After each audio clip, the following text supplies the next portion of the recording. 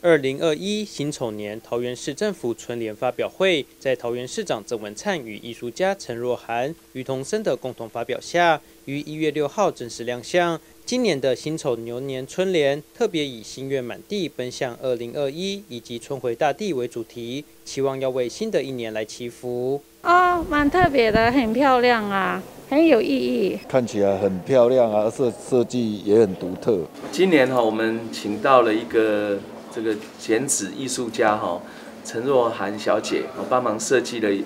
二十一只牛的哦，这个奔向二一，那大家可以仔细看哦，充满了趣味的一个剪纸春联。那我想今年哈，除了春回大地这个春联以外，我们特别推出的这一款，那给我们的市民哈可以这个祈福哦，增加喜气。也祈求哈疫情能够退散，台湾能够平安。直到除夕到一直到新春会发生的全台呃台湾可以看到的景象。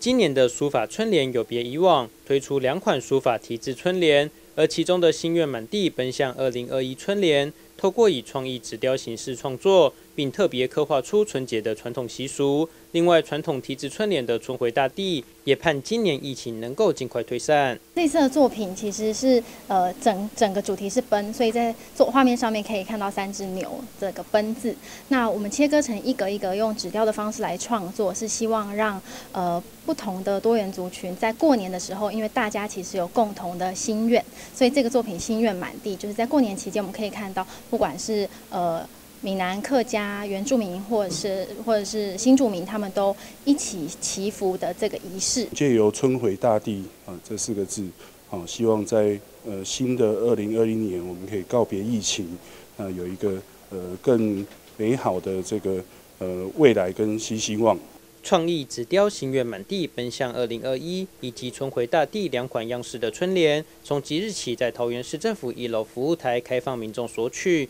数量有限，发完为止。欢迎有需要的民众踊跃前往索取。记者王忠军台报道。